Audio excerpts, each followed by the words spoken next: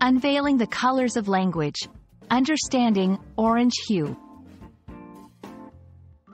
Hello, everyone. Welcome back to our English language learning journey. Today, we're going to dive into the vibrant world of colors and expressions.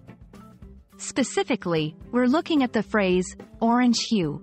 It's a phrase that paints a picture with words, and by the end of this video, you'll not only understand what it means but also be able to use it effectively in your conversations and writing. So, let's add some color to our language palette. The phrase, orange hue, might seem simple at first glance, but there's a richness to it that's worth exploring.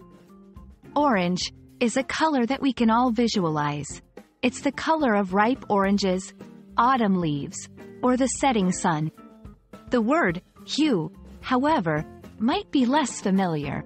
A hue refers to a color or a shade of a color. So, when we talk about an orange hue, we're talking about a shade or a tint of the color orange. The use of the term orange hue is not just limited to literal descriptions of color. It can also be used metaphorically to describe feelings, moods, or atmospheres. For example, one might say, the room was bathed in an orange hue from the setting sun, which not only describes the color of the light but also suggests a warm, cozy atmosphere. Similarly, saying, she saw the world with an orange hue after falling in love, implies that everything seems bright and cheerful to her. To truly understand how orange hue can be used, let's look at some examples.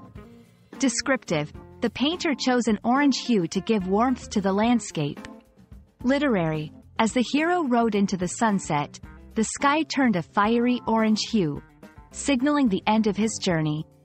Figurative. His optimism gave an orange hue to every situation, making even the challenges appear less daunting. Let's practice saying some sentences with orange hue together. The orange hue of the evening sky is calming. I decorated my room with an orange hue to create a welcoming environment. The festival was decorated with lights of an orange hue, giving it a festive and warm feeling. Repeat these sentences, focusing on the flow and how orange hue fits naturally into each one. And that's a wrap on orange hue. I hope this video has added a splash of color to your English vocabulary and that you're feeling more confident in using this phrase. Remember, Language is a beautiful canvas, and every new phrase you learn is another color you can use to express yourself. Keep practicing, and soon you'll be painting pictures with your words with ease.